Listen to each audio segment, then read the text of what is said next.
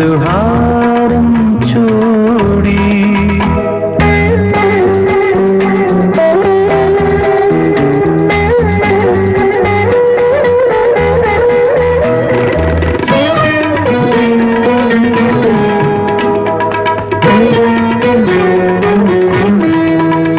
തളിരിടും ഇളം കവിളോരം നടമാടും രസമേതോ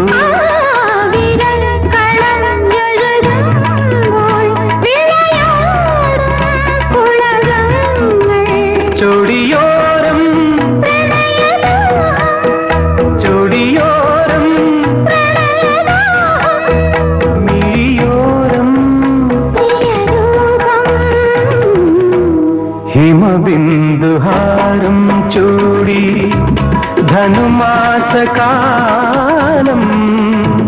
മകതാരിയാരോ പാടി അഭിലാഷഗാനം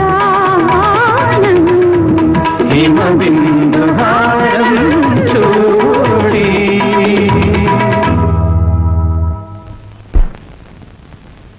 ഹലോ ഡി എസ് പി അല്ലേ good hello mister George how are you oh I am just fine thank you very much എന്റെ കൂട്ടുകാരൻ കൊല ചെയ്യപ്പെട്ടു എന്ന സത്യം താങ്കൾക്കറിയാമെന്ന് ഞാൻ വിശ്വസിക്കുന്നു. നോ നോ അത് കൊലയൊന്നുമല്ല. That was only an accident Sharma മരിച്ചപ്പോൾ അത് ഒരു കൊലപാതകമാണെന്ന് ഞാൻ തറപ്പിച്ചു പറഞ്ഞു. പക്ഷേ താങ്കൾ വിശ്വസിച്ചില്ല. ഇപ്പോഴിതായി എന്റെ സുഹൃത്ത് തമ്പി മൃഗീയമായി വധിക്കപ്പെട്ടിരിക്കുന്നു. ഒറ്റ നോട്ടത്തിൽ അതും ആത്മഹത്യാണെന്ന് തോന്നാം. I am very sorry George mister Thampi വിഷം കഴിച്ച് ആത്മഹത്യ ചെയ്തതായിട്ടാണ് postmortem report no no no no definitely not രണ്ടും കരുതിക്കൂട്ടി ചെയ്ത കൊലപാതകങ്ങളാണ്. ആരാണ് ചെയ്തതെന്ന് അറിയണ്ടേ?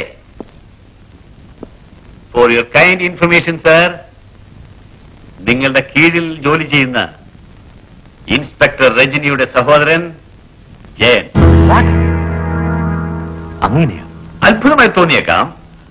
പക്ഷേ ഒരു പോലീസ് ഉദ്യോഗസ്ഥ ഇതിനൊക്കെ കൂട്ടു കൂട്ടുനിൽക്കുന്നു എന്നറിയുമ്പോൾ എനിക്ക് വിഷമം തോന്നുന്നു sir. Sir I am going to be perfectly frank with you ഇതിനെതിരായി നിങ്ങൾ നടപടി സ്വീകരിക്കാത്ത പക്ഷം ഒരു പക്ഷേ എനിക്ക് കോടതി കയറേണ്ടായി വന്നേക്കാം. മിസ്റ്റർ ജോർജ് നിങ്ങൾ പറയുന്നത് സത്യമാണെന്ന് തെളിഞ്ഞാൽ വേണ്ടുന്ന നടപടികൾ ഉടൻ സ്വീകരിക്കുന്നതായിരിക്കും.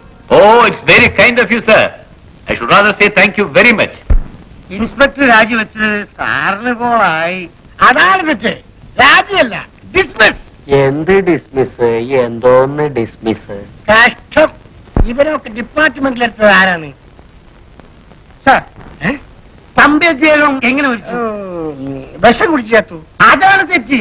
വിഷം കൊടുത്ത് കൊന്നു എന്ന് പറ. സ്റ്റേറ്റ്മെന്റ് തകരാറാവും. വിഷം കുടിച്ചു ചേർത്തു എന്ന് പറയൂ. സാർ വിഷം കുടിച്ച് മരിച്ചു എന്നത് സത്യം. കൊടുത്തത് ജയൻ. കൊടുക്കാൻ പറഞ്ഞത് നമ്മുടെ ഇൻസ്പെക്ടർ. ഉടനെ ഡി എസ് പിയുടെ സസ്പെൻഷൻ ഡി ഐ ജിയുടെ എൻക്വയറി ഐ ജിയുടെ ഡിസ്മിസ് കാര്യം ക്ലോസ് അല്ല അവൻ വിഷം കൊടുക്കുന്നത് നീ കണ്ണുകൊണ്ട് കണ്ടോ? അതിന് പുരുഷേട്ടന് കണ്ണു വേണ്ടേ കാണാൻ? ഒരു കണ്ണേ ശരിക്കുള്ളൂ മറ്റേ കണ്ണ് കോങ്കണ്ണ എന്ത് ഷട്ടപ്പ് എന്തോന്ന് ഷട്ടപ്പ്. അല്ല നീ കണ്ടോ? ഞാൻ കണ്ണാതെ കണ്ട മഫ്റ്റിയിലായാലും ഡ്യൂട്ടിയിലായാലും അടിച്ചവന്റെ ചെരുപ്പയാണ് പിന്നെ നിനക്കെങ്ങനെ അറിയാം? നമ്പർ പറഞ്ഞു അവൻ കണ്ണുകൊണ്ട് കണ്ടതാണോ? അവനോട് തമ്പിയുടെ വേലക്കാരി. അവളെങ്കിലും കണ്ണുകൊണ്ട് കണ്ടോ. ആ തമ്പിക്ക് ഏതോ ഒരുത്ത് എന്തോ ഒഴിച്ചു കൊടുക്കുന്നു. എപ്പോഴോ കണ്ടെന്ന്. അവൾ കണ്ടത് വേറെ എന്തെങ്കിലും ആയിരിക്കും. സംസാരം പിടിക്കാതെ ജയനാണ് ഒഴിച്ചു കൊടുത്തതെന്ന് നിനക്കെങ്ങനെ അറിയാം. അവിടെയാണ് എന്റെ സെവൻത് സെൻസ് ഉണർന്നു നിനക്ക് ഒരു സെൻസുമില്ല പറയുന്നതൊക്കെ നോൺസെൻസുവാ അമ്മേ ചേച്ചി ജോലി രാജിവെച്ചു എന്ന് കേൾക്കുന്നത് സത്യമാണോ? അതെന്തിനാണെന്ന് നിനക്കറിയാമോ? ഈ വീട് വിട്ടിറങ്ങി അന്നു മുതൽ അവൾ ഉറങ്ങിയിട്ടില്ല. അവൾക്ക് തീരെ സുഖവുമില്ല. അത് പറയാൻ വേണ്ടിയാണ് ഞാൻ ഇങ്ങോട്ട് വന്നത്. ഞാൻ പോട്ടെ. എന്റെ അമ്മ ആദ്യമായിട്ട് വന്നതല്ലേ? എന്തെങ്കിലും കഴിച്ചിട്ട് പോവാ. സാരമില്ല. ഞാൻ ഇനി ഒരിക്കൽ വരാം. അമ്മേ ഞാനും കൂടി വരാം അമ്മേ. എനിക്ക് ചേച്ചിയെ കാണാൻ കൊതിയാവുന്നു. ആ മോനെ നിന്നെ കണ്ട നമുക്ക് വളരെ ആശ്വാസമാകും. അമ്മാവ ഞാൻ പോയിട്ട് വരാം. വരട്ടെ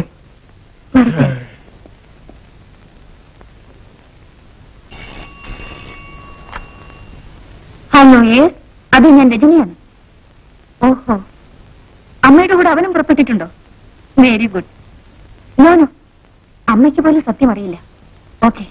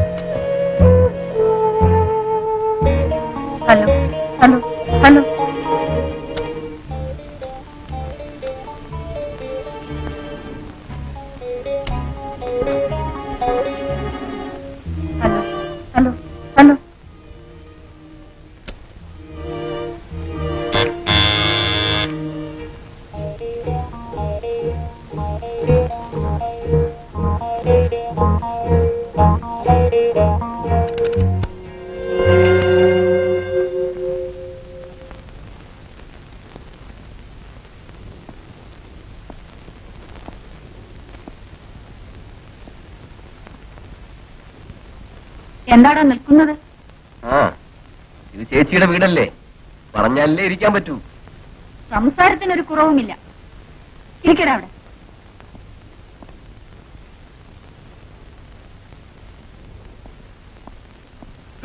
ഇരുന്നു. ഇനി എന്ത് ചെയ്യണം? രണ്ട് കണക്ക് ചെയ്യണം. പോടാ. രണ്ടുപേരും വന്ന് ഊണ് കഴിച്ചിട്ട് വഴക്ക് കൂടിക്കും.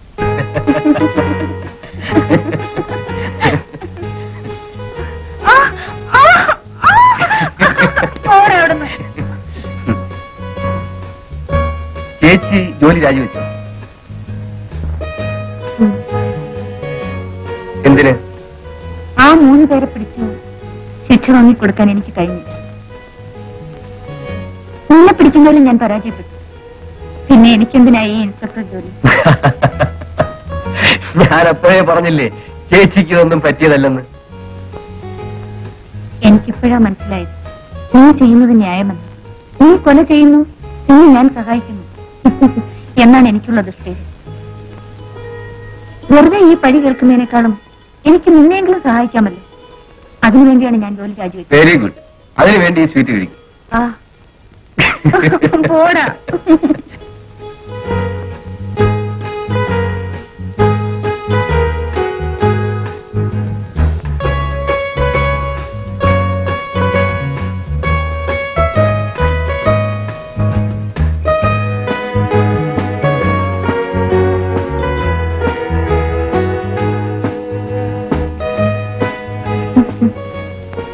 ജയ നിന്നെപ്പറ്റി ആലോചിക്കുമ്പോൾ എനിക്ക് അഭിമാനം തോന്നുന്നു ഞാൻ പകവീട്ടണമെന്ന് വിചാരിച്ചു പക്ഷേ എനിക്കതിന് കഴിഞ്ഞില്ല. നിന്റെ ബുദ്ധിശക്തി ഞാൻ സമ്മതിച്ചിരിക്കുന്നു. Super criminal brain. ചേച്ചി നടന്ന സത്യം ഞാൻ പറയട്ടെ.